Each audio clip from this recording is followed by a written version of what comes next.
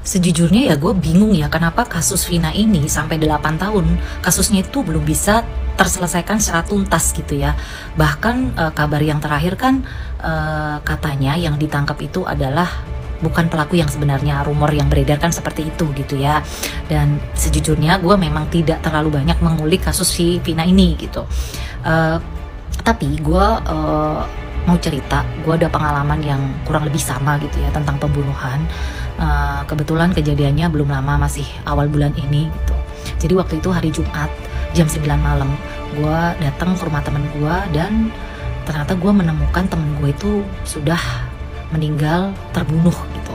Dan waktu itu udah singkat cerita heboh lah ya heboh di kampung itu dan akhirnya polisi itu datang ke TKP uh, eh, ya udah olah TKP dan segala macam gue dimintain keterangan keterangan tentang uh, pertama kali gue ngelihat uh, itu gimana ceritanya? Terus gue dimintain uh, keterangan tentang teman-teman deketnya tuh siapa aja korban pernah bercerita apa aja uh, ke gue gitu gitulah ya.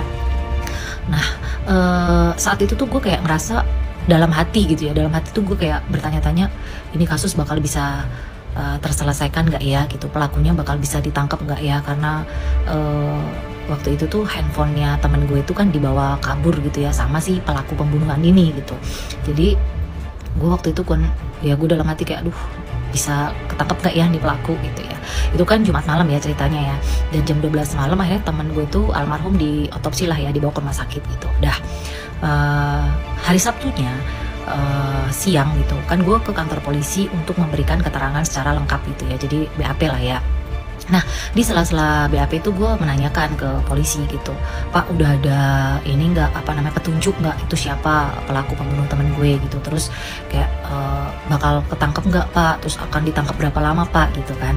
Nah si polisi itu menjawabnya cuman kayak ya didoain aja Mbak, semoga secepatnya pelakunya bisa ditangkap gitu kan. Ya ya waktu itu semua kaget gitu, ya, semua teman-temannya itu kayak siapa ya pelakunya? Bla bla bla kayak gitulah ya. Nah, uh, gue tuh BAP kurang lebih kayak 4 jam ya. Uh, sepulang dari situ kebetulan temen uh, almarhum ya si korban ini tuh udah selesai diotopsi di rumah sakit dan akhirnya langsung dibawa ke rumah orang tuanya untuk uh, dimakamkan dimakamkan gitu ya. Dan gue juga datang ke sana dan akhirnya setelah maghrib itu baru bisa dimakamkan dan ya udah beres pemakaman itu sekitar kayak jam 7 gitu ya. Terus akhirnya kayak gue setengah delapan itu balik dari rumahnya barengan sama teman-teman gue gitu.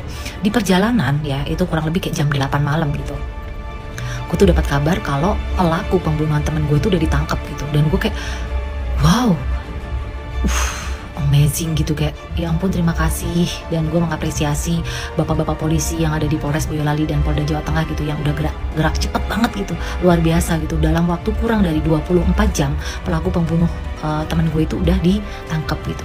Ini tuh agak berbanding terbalik gitu ya dengan kasusnya si Vina ini gitu Padahal kalau menurut gue ya, kalau misalkan emang udah ketahuan pelakunya siapa tuh kan sebenarnya lebih cepet dan gampang buat nangkep gitu ya. Karena di kasus temen gue itu, itu maksudnya kayak lu bisa kadang sebagai orang awam berpikir nggak sih kok, kok polisi bisa tahu gitu ya nih pelaku tuh posisinya ada di sini gitu. Akhirnya kayak bisa ketangkep gitu. Ya kan yang ada di otak kita sebagai orang awam kan seperti itu gitu ya. Apalagi nih kalau uh, apa ya namanya pelaku yang lain udah ketangkep terus uh, pelaku yang udah ketahuan identitasnya ini tuh uh, eh, DPO dan bisa dicari dengan mudahnya sebenarnya oleh si polisi-polisi ini gitu ya. Tapi kok sampai sekarang tuh nggak beres ini kasusnya gitu. Nah dengar-dengar kan katanya emang ya salah satu dari pelaku katanya loh ya katanya.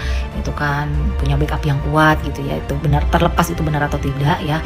Gue sebenarnya udah mati bertanya-tanya dan gue berharap ya semoga kasus ini tuh segera bisa beres gitu. Dan ya you know ya ini kayaknya memang perlu kekuatan netizen gitu ya untuk tetap memviralkan kasus ini supaya ya kan kalau di Indonesia tuh kalau udah viral kan baru beres gitu ya kadang-kadang ya.